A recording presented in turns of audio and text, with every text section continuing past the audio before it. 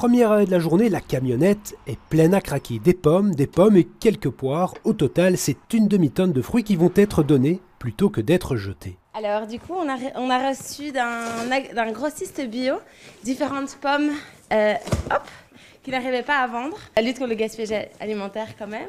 Donc parmi les pommes, j'imagine qu'il faudrait un peu trier. Oui, c'est ça, certainement des petits coups. Un jour par semaine, Noémie part en mission chez des donneurs de fruits, des grossistes. Pendant l'hiver et pendant l'été, des bénévoles en récoltent directement dans des jardins de particuliers.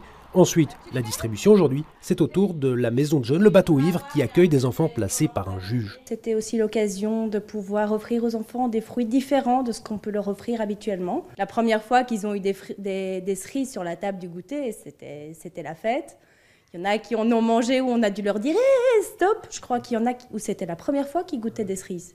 Ils savaient pas ce que ils savaient pas ce que ça goûtait ce fruit. Oui, ils le voyaient, mais Saison oblige, pas de cerises au programme aujourd'hui, mais les pommes suffiront déjà largement. Les plus belles serviront pour le goûter, les autres termineront en compote. Et pour ne vraiment rien gaspiller, Fruit Collect fournit aussi quelques recettes plus exotiques. Également des ateliers de sensibilisation euh, et des cours de cuisine. Et ça aussi, on a des chouettes réactions. Par exemple, on utilise les plures de pommes pour en faire des chips. Et donc en général, il y a plein de gens qui sont épatés, qui trouvent ça délicieux pour le goûter. On utilise aussi les, pépins des pommes et euh, les pelures pour faire de la tisane.